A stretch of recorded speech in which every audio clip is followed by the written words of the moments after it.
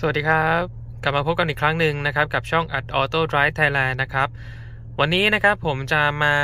สาธิตนะครับ การใช้งานระบบ Cruise Control หรือว่าระบบควบคุมความเร็วคงที่ขณะขับขี่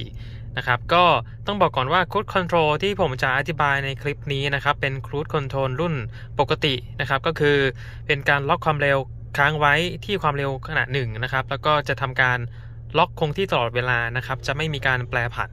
ครับคือถ้าเป็นรถสมัยใหม่นะครับก็คือระบบ Adaptive Cruise Control เนี่ยเขาจะมีการมีมีเรดาร์ที่อยู่ด้านหน้านะครับทำการปรับระยะห่างจากรถคันหน้าให้โดยอัตโนมัตินะครับ แต่วันนี้นะครับผมจะมาสาธิตระบบ Cruise Control รุ่นปกติก่อนนะครับ ว่ามีวิธีการใช้งานอย่างไรนะครับ ก็สำหรับรถคันนี้นะครับระบบควบคุม Cruise Control จะอยู่บริเวณนี้นะครับ ก็จะสังเกตเห็นปุ่มนะครับมีปุ่ม on นะครับ ปุ่ม off หรือว่าตัว cancel นะครับ แล้วก็มีปุ่ม resume นะครับ แล้วก็ปุ่ม set นะครับข้างข้างๆก็จะมีเครื่องหมายบวกลบด้วยนะครับพิ้นไขนะครับในการขับขี่ก็คือ เราควรจะใช้ cruise control นะครับในขณะที่ทางถนนโล่ง หรือว่าถนนเป็นทางตรงยาวนะครับ เราสามารถถอนเท้าออกจากคันเร่งได้นะครับ เพื่อลดอาการเมื่อยล้านะครับ เวลาเราเดินทางไกลนะครับ ก็วิธีการใช้งานอันดับแรกนะครับ ก็คือเราจะขับรถออกไปนะครับอ่า ที่ความเร็วนะครับ แล้วแต่ยี่ห้อนะครับ ก็คือรถคันนี้เนี่ยเขาจะมีเงื่อนไขว่าจะต้องความเร็วไม่ต่ำกว่า 25 กิโลเมตรต่อชั่วโมงนะครับ ถึงจะสามารถใช้งานระบบ Cruise Control ได้นะครับ ก็อะตอนนี้หน้าจอผมความเร็วของผมอยู่ที่ประมาณ 30 35 กิโลเมตรต่อชั่วโมงนะครับ ก็ถนนข้างหน้าก็คือเป็นทางตรงยาวนะครับอะตอนนี้ผมขอไต่ระดับความเร็วขึ้นไปเรื่อยๆแล้วกันเนาะโอเค ผมจะล็อกความเร็วสักประมาณ 60 กิโลเมตรต่อชั่วโมงนะครับอ่าตอนนี้อยู่ที่ประมาณจะเห็นหน้าจอด้านหน้าผมนะครับ ก็คือที่ 60 เนาะอ่าหลังจากนั้นนะครับ ผมจะทำการกดปุ่ม on นะครับ กด on ปุ๊บนะครับหลังจากกด on ปุ๊บนะครับ จะมีหน้าจอโชว์นะครับ บริเวณอ่าตรงนี้นะครับเดี๋ยวผมจะทำวงกลมไว้ให้นะครับอ่าว่าระบบถูกเปิดขึ้นมาแล้วนะครับ หลังจากนั้นนะครับ ผมจะทำการกดปุ่ม set นะครับเซตเข้าไปตึ๊บอ่าสังเกตว่าจะมีปุ่มเครื่องหมายสีเขียวขึ้นมานะครับ ก็คือตอนนี้ผมสามารถถอน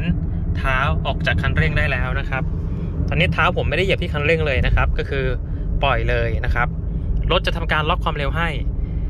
ถนนที่เพื่อนๆเห็นด้านหน้านะครับ จะเป็นอ่าเหมือนกับทางค้อยลงนะครับ ถ้าเราไม่ได้เปิดระบบนี้นะครับรถก็จะทำการไหลลงตามแรงเฉื่อยของรถไปเรื่อยๆนะครับ แต่ถ้าเราเปิดล็อกไว้นะครับ ก็คือมันก็จะยังล็อกความเร็วที่ 66 ตอนนี้ผมตั้งที่ 66 นะครับ 66 อ่า เห็นไหมด้านหน้าจอด้านหน้าผมก็จะมีตัวเลขโชว์เหมือนกันนะครับว่า 66 นะครับ อ่า ทีนี้ถ้าผมสามารถกดเพิ่มความเร็วได้ ถ้าสมมติมันช้าไปนะครับ อ่าผมก็กดเพิ่มตรงนี้นะครับ เพิ่มปุ๊บขึ้นมานะครับ ตอนนี้เป็น 67 แล้วนะครับ 67 เพิ่มทีละ1นะครับ 68 69 70 นะครับ อ่า ลงก็ได้นะครับ ก็กดปุ่มลดตรงนี้ลงนะครับ กดลงมา อ่าหกสิบแปดหกสิบเก้าอ่าลดลงมาละอ่าโอเคนะครับ ก็เป็นระบบที่สามารถช่วยให้ผู้ขับขี่นะครับอ่าลดอาการเมื่อยล้าขณะขับขี่ได้นะครับ ในเวลาเราที่เราเดินทางไกลทางตรงยาวๆ เราไม่อยากเจ็บคันเร่งนะครับทั้งนี้นะครับในเรื่องของความปลอดภัยเราก็ต้องระมัดระวังในส่วนของว่าอ่า ถึงแม้ว่ารถจะเคลื่อนที่ไปได้เรื่อยๆนะครับแต่ว่ามันจะไม่มีการเบรกให้นะครับ เราก็ต้องระมัดระวังเองนะครับ จะยกเลิกระบบเมื่อไหร่นะครับ ก็คือทำการเหยียบเบรกหรือกดปุ่ม cancel ด้านล่างนะครับ ก็คือกดปึ๊บเข้าไปปึ๊บนะความเร็วรถก็จะตกลงนะครับอ่าก็จะกลับเข้าสู่โหมดปกติละนะครับไฟสีเขียวที่อยู่ด้านหน้าก็จะหายไปนะครับ จะโชว์แค่ความเร็วที่เคยล็อกเอาไว้นะครับ แต่ถ้าเกิดว่าเราอยากกลับไปที่ความเร็วเดิมนะครับ ว่าเมื่อกี้เราความเร็วที่อยู่ตั้งไว้ 60 68 นะครับ แต่ตอนนี้เราอยู่ที่ 78 แล้วก็สามารถกดคำว่า resume ตรงนี้นะครับอัพอ่าเข้าไปนะครับ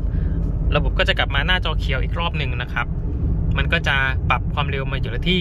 68 กิโลเมตรต่อชั่วโมงให้โดยอัตโนมัตินะครับอ่าถ้าเราอยากยกเลิกก็กดจะเก็บเหยียบเบรกก็ได้หรือว่ากดปุ่ม cancel ตรงนี้ก็ได้นะครับ อ่า cancel ไปปุ๊บก็กลับเข้าสู่โหมดปกตินะครับ ก็นี่เป็นวิธีการใช้งานเบื้องต้นสำหรับระบบ Cruise Control หรือว่าควบคุมความเร็วคงที่ขณะขับขี่นะครับ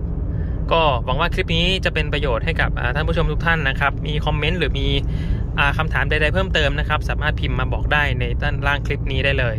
เดี๋ยวพบกันใหม่คลิปหน้านะครับ วันนี้สวัสดีครับ